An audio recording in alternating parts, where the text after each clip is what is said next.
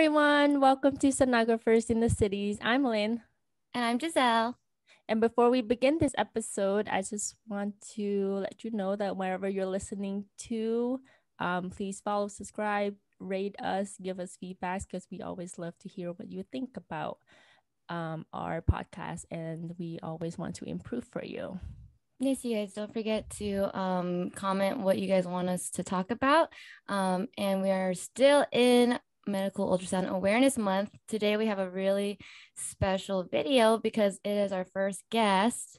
And we have here Molly. She's a sonographer and she's going to be here to tell you guys a little bit about ultrasound after being in the field for many years. And she's also an educator.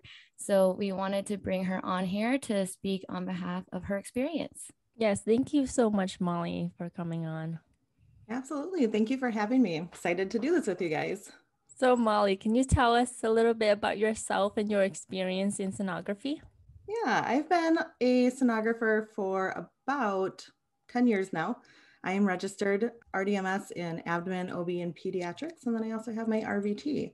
So I've been in clinic for about 10 years. I've been teaching for about five years, and it's been really exciting. It's been an awesome career so far. I'm so happy I made the rash decision to get into sonography school. When you say rash decision, so like how did you get into sonography?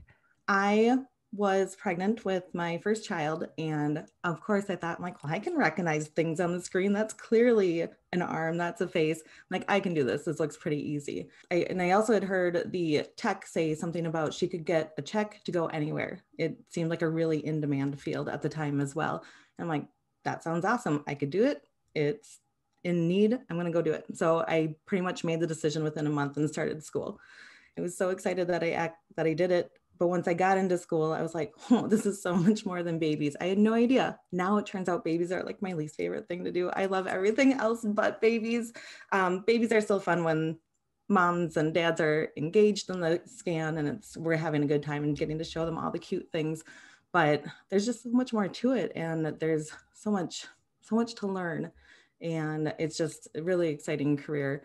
I don't know. It yeah, it was just like I looked it up, found a school, and was like, yeah, I'm gonna go do that. And there I, here I am 10 years so, later.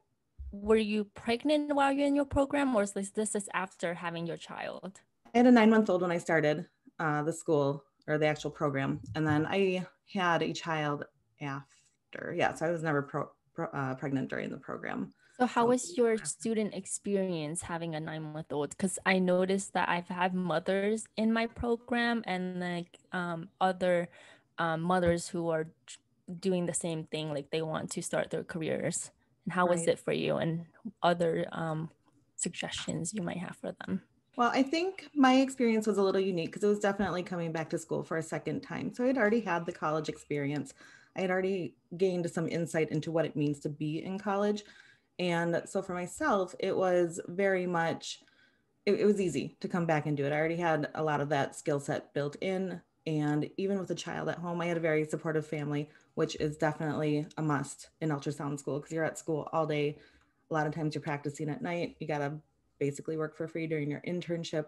So you do have to have that support outside of uh, your actual schooling part of it. You have to have outside support to make you successful as well. But it, it didn't hinder anything to have children. It just made me be a little bit more creative. You know, when I went to open labs, I went after she went to bed at seven o'clock at night. I was the late night person at the labs that worked out well for our family. I still got to see her and worked around her schedule a little bit more when when she was young. So I don't feel like I missed out on anything and it didn't really hinder anything for school either. So I wouldn't say children are a deterrent to going back to school for ultrasound at all. That's amazing to hear. I hope that um, new moms can hear this and be encouraged to apply to the programs that they want. Absolutely. I think um, it's a fantastic career. Sometimes the work life balance can be a little bit tricky, especially when you've got call and all of that. But I think anybody can make it work if they want it. That's great. Can you tell us more about your program in general? Like, where did you go? How long was the program? And what yeah. degree did you get? So, I have an associate's in uh, diagnostic medical sonography. The program that I went to offered three concentrations. We had the echo concentration, vascular, and general. I originally was in the vascular concentration. So that is what I did, but I also got to double up with the general. Really, the only thing that was different between vascular and general was the addition of the OB classes. And at the time, I really wanted to make sure that I was marketable. And so I wanted all the information that I could get. So I ended up kind of doing a dual concentration between vascular and general. And it took 18 months in school and then a six month internship afterwards. Yeah, just out. I'm, I'm like counting like, the months. wow, too. I know. I was counting the ones. Dang, yeah, that's pretty cool. Yes, that sounds like an awesome program. Yeah. I'm thinking of your experience, and uh, I'm like, it's really amazing to hear your experience because it's so different from all of us. And I'm, I'm like speechless because, all right. So, what's the most challenging aspect of being a sonography student and a sonographer now that you've been in the field for over 10 years?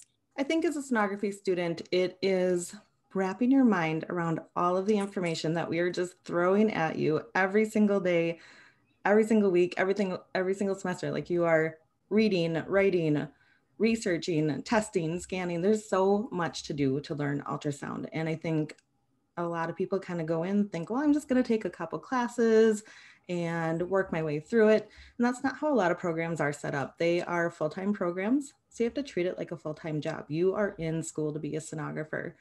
This job or the program could clear, like easily be a four year program, but we are jamming it into 18 months. And so you just have to be prepared to put social life on hold, maybe be prepared to not work as much, uh, be prepared to really put your all into the program. And it's a short 18 months. And when you are done, the rewards are massive. If you can just get through those 18 months, get through your internship, and get on to the career, the, the reward is really worth it in the end if you can just figure that 18 month part out. I definitely agree with that. And obviously that's what I was telling myself through my program was just get through this class, just get through this day. And I'm sure Lynn is feeling that too right now. Definitely. I'm just like, I'm getting through a quarter at a time, a class at a time. And then, um, but keeping an end goal in mind, which is to get my uh, license. Exactly. And, you know, working with students, a lot of students are concerned like, well, how am I going to work through school? How am I going to do this? And I've always kind of presented the question to them like, is it worth it to you to have to repeat something if you can't get through the semester while working full time or while doing whatever else you need to do? Like, can you take out an extra loan? Not that I encourage going into debt. If you don't have to, don't do it. But, um, you know, try to make school a priority. You have to for this program. It's way too intense to come at it as a casual learner. You have to be prepared to be in your program full time, full hearted. So I would have to ask you because a lot of students um, ask me this, and myself have considered: um, Is it possible to work full time while in a sonography program? I think that goes back to your support system at home and how your program is set up too. I currently teach for a couple programs that have either evening classes or online classes. I think that opens you up to being flexible in your learning. But if you are expected to be on campus from nine to five, Monday through Thursday or something, it's going to be hard to work full time and find those hours to study and be proficient in your education and dedicate to working. I know people have to do it, so it is possible, but you got to look at what you can do as a person. Like, what is your personal situation? Do you have the support system to be able to do that? Or are you going to jeopardize your education and just draw the whole process out longer than it needs to be? What would you say since you've been you know teaching students for you know a few years now what has been like the most common struggle that you've seen with students as far as um, in your programs go yeah you know it's it's across the board and i think that really relates back to it's not one personality it's not one student type that comes into sonography i really do believe anybody can be successful in a sonography program everybody has their strengths and their weaknesses.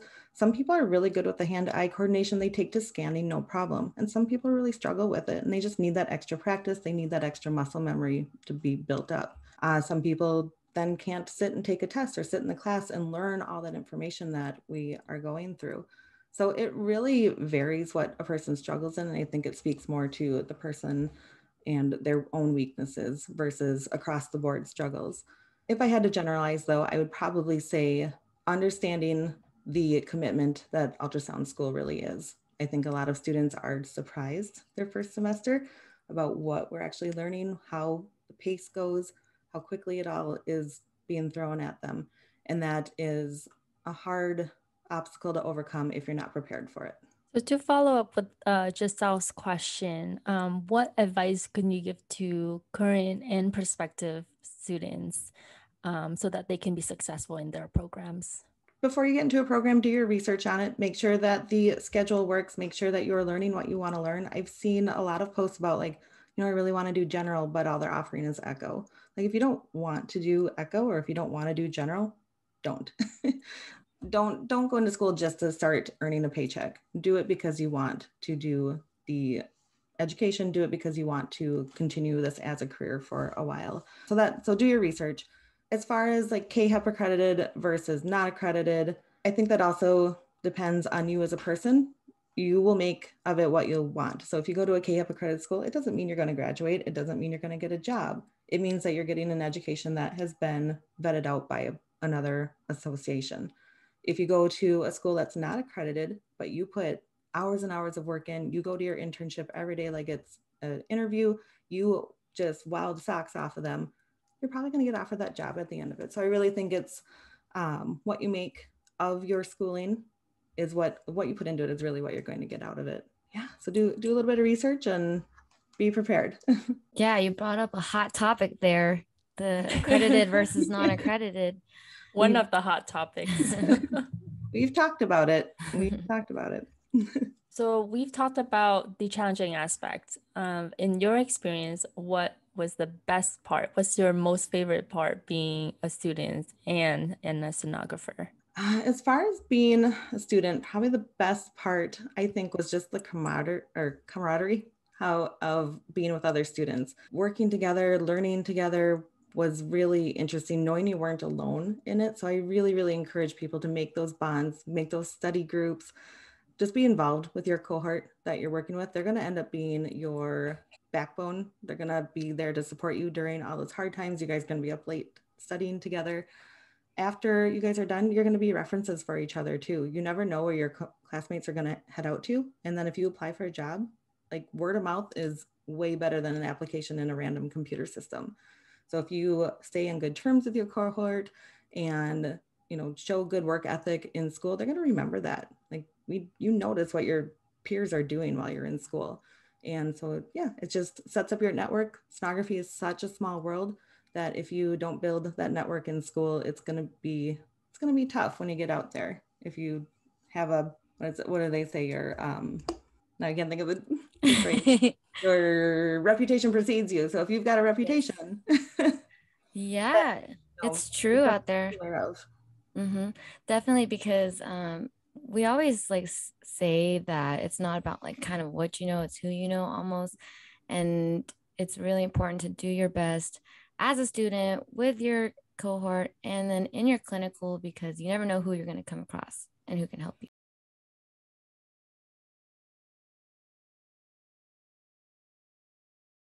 And what I'm going through in my classes right now are my classmates because no one gets it. it's tough. The program is tough, despite what many people think if it's easy or not. Um, just to uh, reiterate what Molly said, like all sonography programs are tough.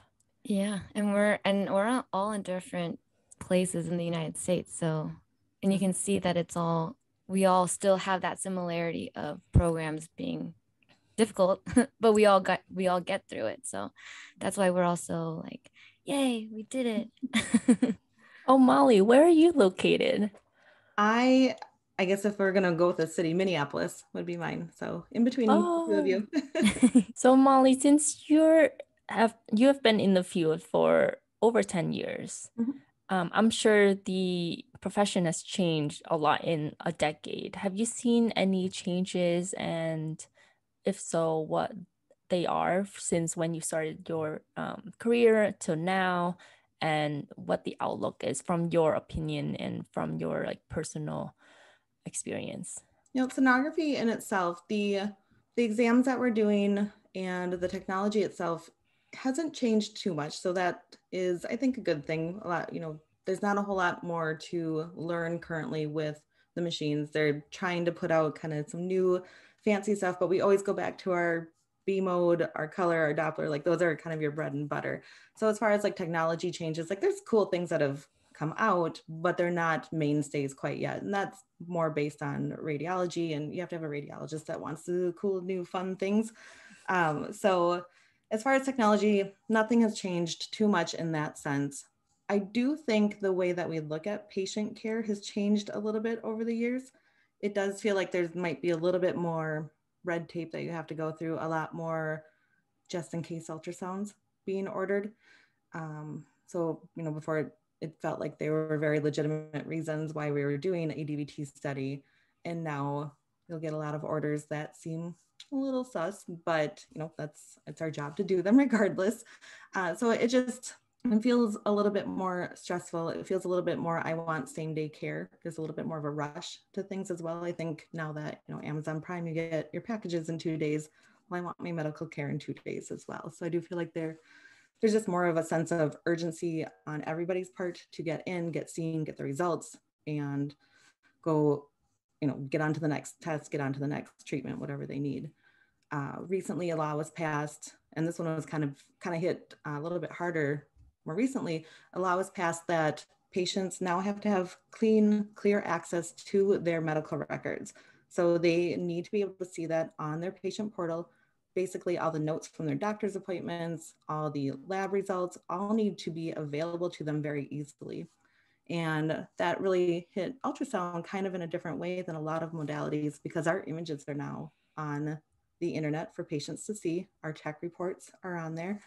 And originally, that was just communication between us and the radiologist. And we take so much pride in our work and we are responsible to find everything and document everything and label everything. Like it just adds this extra layer of stress to making sure that you are appropriately getting through all of that, not using certain terminology on your tech sheet, not working out of the scope of being a sonographer as well. So that has been what, probably one of the more recent kind of stressful changes that I've seen in the field that we're now just opening up, being a lot more transparent with patients, which I think is a very good thing, but it just adds an extra layer to our jobs.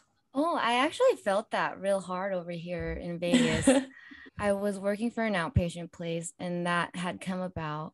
And then it just started this whole thing um, where patients were getting mad about things that we were writing on our tech reports, which are technically things that we always right to kind of back ourselves up. I don't know if for for students who are listening, if you didn't know ultrasound, we describe what we see, right? And so that's why you're learning all your medical terminology and how to interpret the uh, image. And yes, the radiologist is the one that you know diagnoses and stuff, but we actually do look at our images and think about all the anatomy, physiology, and what we're looking at, right? And we describe them and stuff.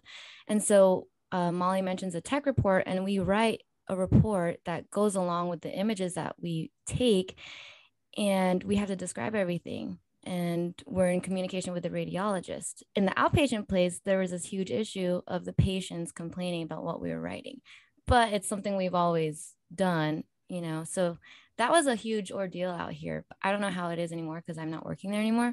But when I was leaving the facilities, that was like a huge problem. Um, and it's just like simple things as far as like, you know, technically difficult study due to bowel gas, which is something that we say all the time. Mm-hmm. Is that something that you've seen over there?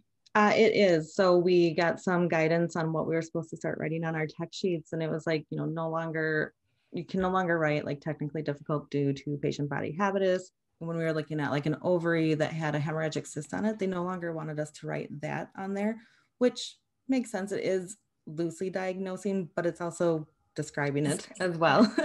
and so, you know, what they wanted us to write was like a hypoechoic mass on the ovary. And I'm like, if a patient sees that, they're going to see mass. Like the second somebody sees mass, they go straight to cancer. Like at least if they Googled hemorrhagic cyst, they'd be able to see it's totally benign and not a big deal. Um, so, you know, some of the guidance that we got was interesting. It was going to be really changing how we communicated with the radiologist. And a lot of us felt like we're done, we're writing measurements, and that's about it. we're, we're done trying to write anything else. Yeah. And I'm surprised that it's, I mean, I'm sure it's happening all over, but it kind of like that's a little bit of a change, right? That we're going through and trying to maneuver through that. But after all this time, it sounds like ultrasound still kind of been pretty constant in the medical field.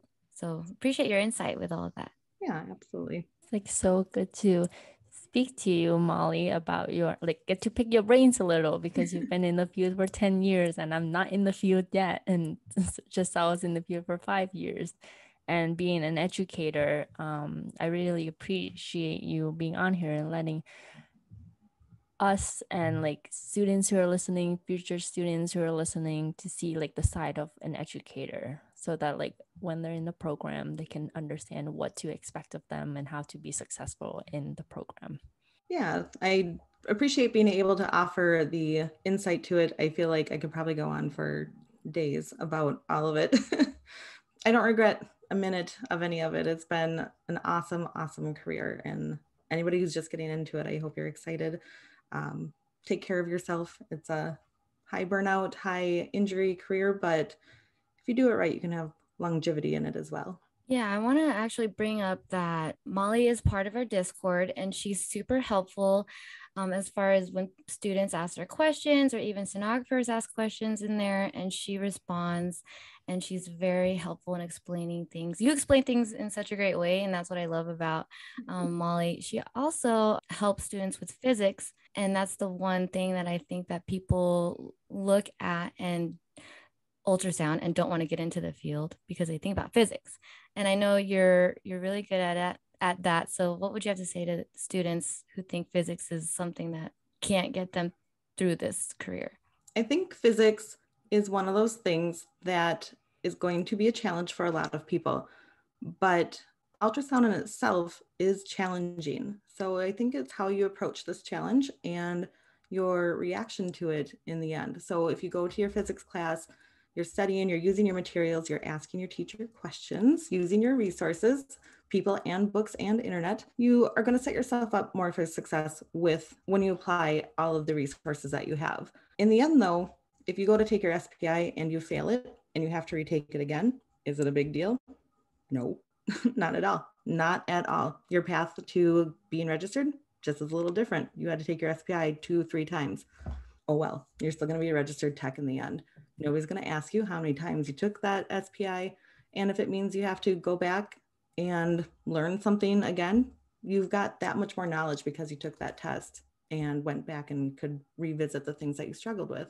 And maybe that's a good thing. If you're not really ready to be registered um, based on physics or based on your boards or whatever, then go back and study it. You're going to get there. Just put the work in. Don't let it stop you because you're afraid of it, or don't let it stop you because you failed once. You are going to make mistakes. It's how you react to those mistakes. Did you learn from it, or did you just let it shut you down? So don't be afraid of physics. There are people out there to help you. Your teachers want to help you, they want to talk to you about physics.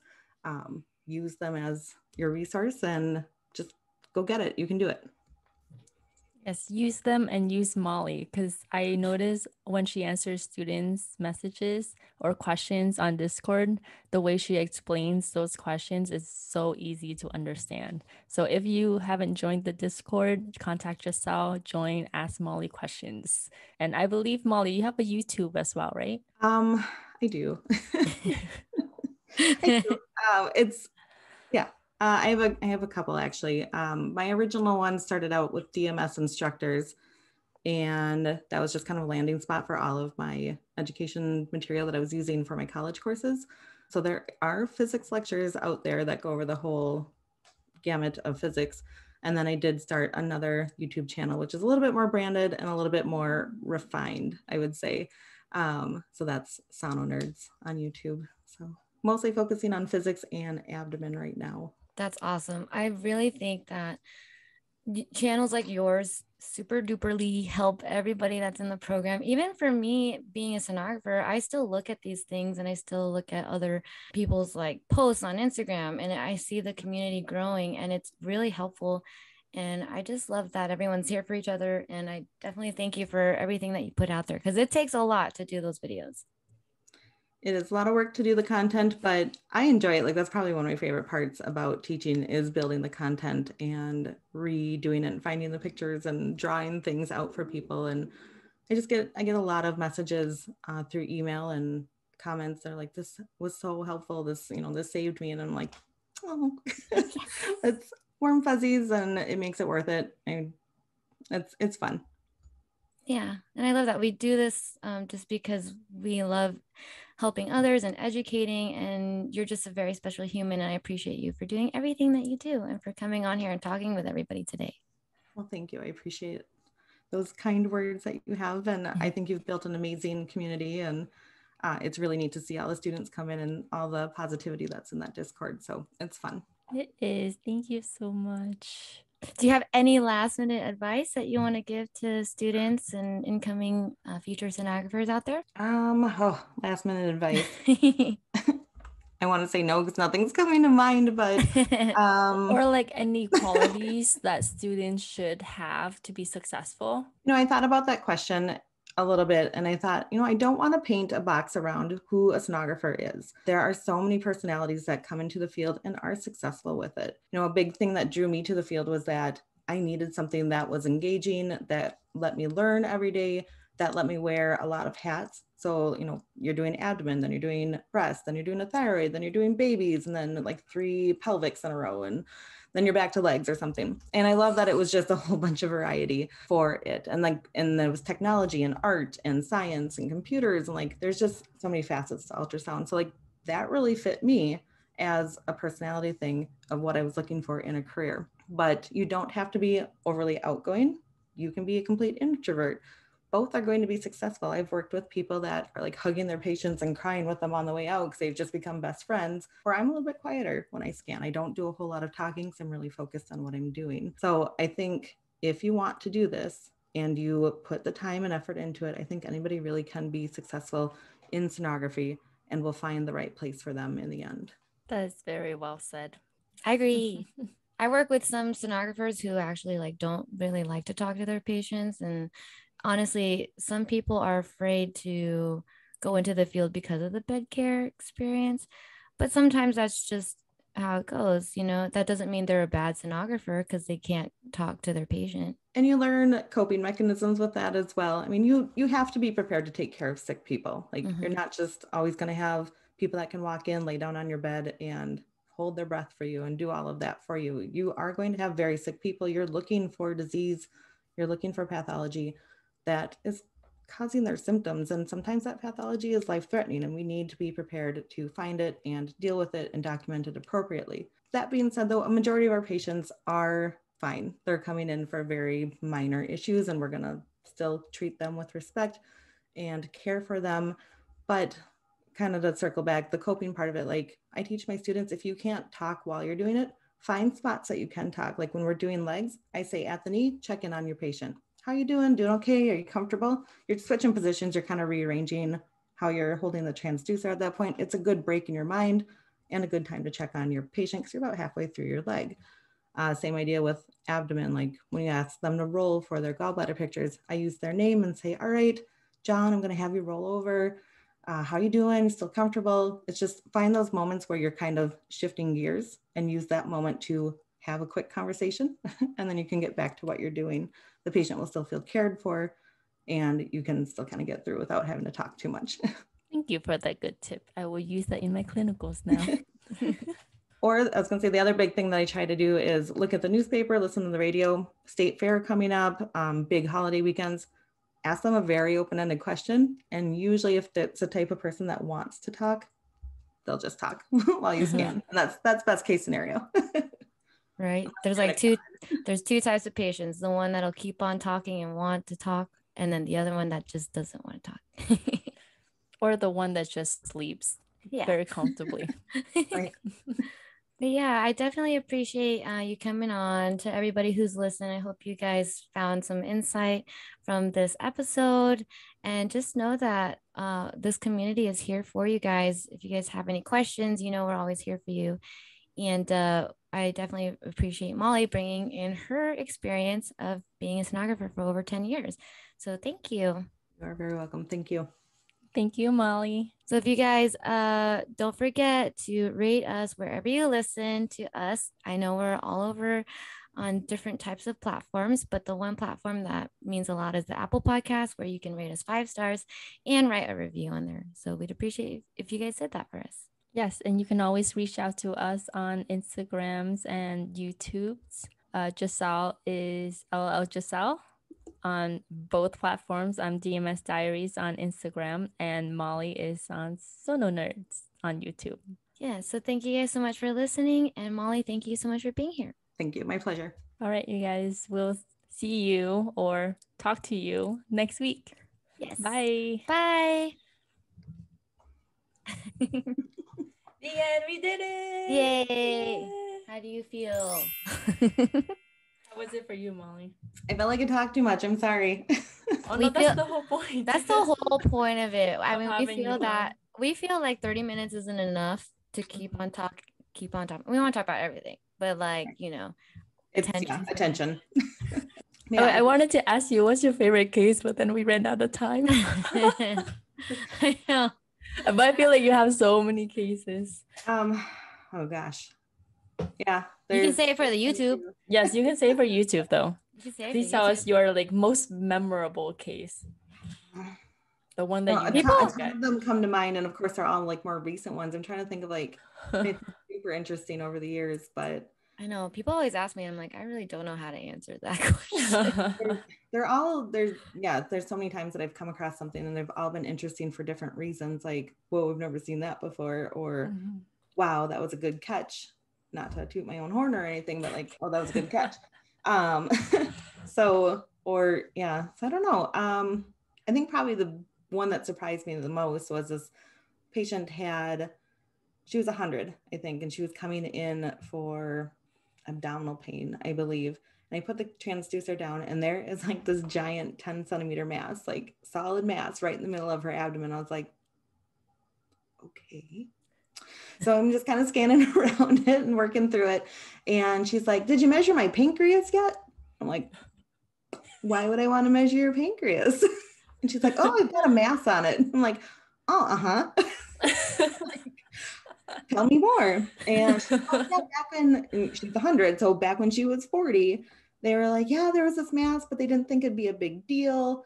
And I think it measured like maybe like a couple centimeters at that time. And I'm like, well, you've got like a tennis ball in you now, baseball or softball. And yeah, it was just funny. She's like, they probably didn't expect me to live to 100 though either. Maybe not. So um, yeah, she had this huge mass. Her gall, her common bile duct, I think, was like 17 millimeters, something ginormous. oh. And it was, yeah, it was just kind of interesting. It's just always kind of funny, like when patients don't really fill you in on everything, or like their medical history is a little sketchy in the EMR, and you go in, you're like, okay, there's a massive something in here, and then they're like, hey, did you see that yet? And you're like, okay, everybody knows about this. Everybody knows about this. I don't have to run out of here screaming like we've got a big one. I know. Oh my gosh, that's crazy. She's a hundred. Oh, it's cute. She's like, Oh, have you that's seen my super pancreas yet? they don't expect me to live this long. But yeah, that was, and I was like, well, yeah, you had another 60 years to let this benign growth just keep growing. Most people would have only had like another 40 maybe. So wow. yeah, so that, that one was interesting. Um, you know, I've had a lot of cancers, a lot of, you know, making plans for next summer and it's clearly Mets Mm. all over the liver kind of stuff. Um, making plans to go somewhere and it's endometrial hyperplasia and it looks cancerous. Like a lot of that stuff comes to mind because that's a lot of that's really common. It's common stuff that we find. And so it's hard when you see that and you're trying to keep your poker face on and keep the conversation going without sobbing in the middle of your exam. But I always told students, you know, like, well, how do you deal with it? How do you find what do you do when you find something? I'm like, well, you have to stay calm, stop, take a breath, and be logical about it because if you stop and like start getting all nervous and taking random pictures or like throw the transducer down and run out of the room, then you're not helping the patient. So, you know, in the moment, you might be a little taken aback. Just get your pictures. You got to get them done and documented as best as you can. So, I think a lot of people like I I know when I was in school, one of my biggest fears was I'm going to put the transducer down and baby's not going to have a heartbeat. Like that was like my biggest fear. And it still kind of is my biggest fear. I kind of hold my breath until I see it. I'm like, okay, it's going to be a good scan. Mm-hmm. and when it's not, it, you know, we just, you learn from your preceptors, you learn from your clinical instructors about how to deal with it. And you'll, if you have good guidance, you'll know how to deal with it when the time comes. Oh, yeah. Cause we do definitely see a lot of like abnormal stuff. And that's why when people ask me, I'm always like, oh, all the interesting cases are usually abnormal. like that's what you're not supposed to find anything. I mean, I remember my like one of my first ones that I thought I was like super shocked about was when I saw situs inversus on a baby. And that I, I always go back to that one just because I think that's so crazy to have all your organs on the other side. And you're like, oh, what's happening? right. everything's everything's confusing. I know that um Lynn's doing echoes and vascular, so it's like completely different types of abnormalities for you guys to see. But whenever in the echo chat and they're like posting all their pictures, I'm like, I don't know what's happening. I love echo. Um, I'm in the vascular lab right now, and I remember. Oh, I completed my first protocol, which is uh, segmental pressure, so ankle brachial index. So it's really cool. Yeah, I did it yesterday. um, but I remember the first time that they let me fly solo, and my preceptor just assisted it. Um, the patient was he he was like in his late forties, um, a fistula on the left arm, an amputee, so uh, left leg was amputated, and right big toe was amputated so she let me flew solo and I was like, I know what I'm doing. And then when I got to the toe, I'm like, he doesn't have a toe. like, which one do, what do I do? So she's like, oh, you can just go to the second toe. And then she was like, okay, now his, uh, get his brachial pressure on his left arm. I'm like, okay. And she's like, oh, wait, no, he has the fistula. So you, do, you don't need to do that. And I was just like, uh, uh. and he had like bandages everywhere. So I had to like maneuver around it it was I, I won't forget it for now. the joy of vascular care, it's a lot when especially when they're very symptomatic and have diabetes and all the bandages and the fistulas mm-hmm. and amputated toes and it's it's an interesting interesting field on the vascular side. Yes, it is. Definitely. I'm like every day I see something new. Lynn, you are in clinicals right now while you go to school. You guys do them at the yes. same time. Very yes, cool. I have classes, labs, and clinicals. Okay. So today I have classes and labs. Okay. yeah, that's why I wake up at 6 a.m. oh, thank you, Giselle. You're welcome. I know, that's crazy. Wait, so Minneap- Minneap- Minneap- Minneap- Mi- is it Minneapolis? Minneapolis. yeah. They're they're CST. They're in the middle right? CST. You're you're P Central. Yeah. So you're two two hours behind and one Are you, hour before. So Midwest is what you would say. Yes. Yep. Okay. So we're we're an hour behind New York and two hours ahead of uh, Pacific. Oh my god, so it's not too early for you. Okay, I'm glad. no, it's no now children in the house.